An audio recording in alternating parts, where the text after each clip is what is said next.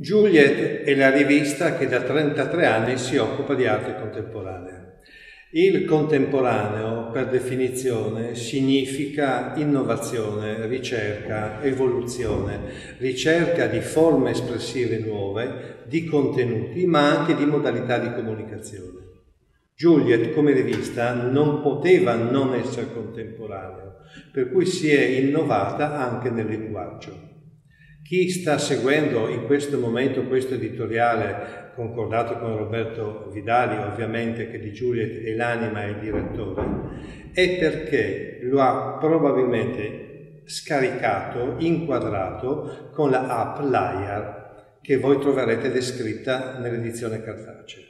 Realtà aumentata, cosa significa? Significa che con il vostro telefonino, con una rivista in mano, voi potrete accedere al mondo della multimedialità. Juliet non può essere esclusiva, non può escludere le persone dal suo linguaggio comunicativo. E questo è il motivo per cui anche questo editoriale lo potrete trovare sul sito di Juliet www.julietartmagazine.com.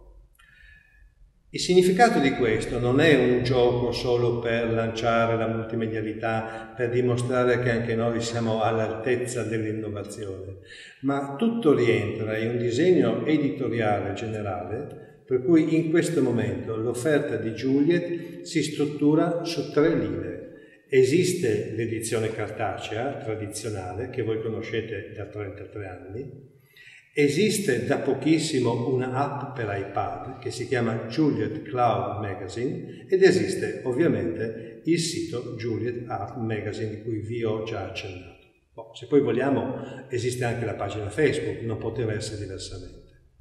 Quali sono le caratteristiche? Di Juliet Art Magazine cartaceo sapete già tutto.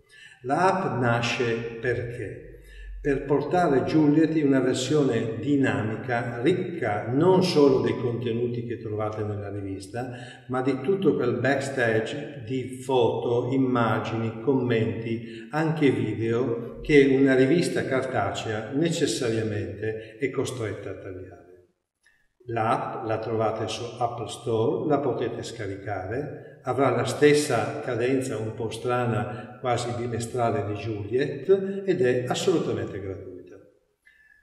Il sito www.julietartmagazine.com è curato da persone bravissime che sono eh, capaci di tenere sempre viva l'attenzione sui contenuti del mondo dell'arte contemporanea.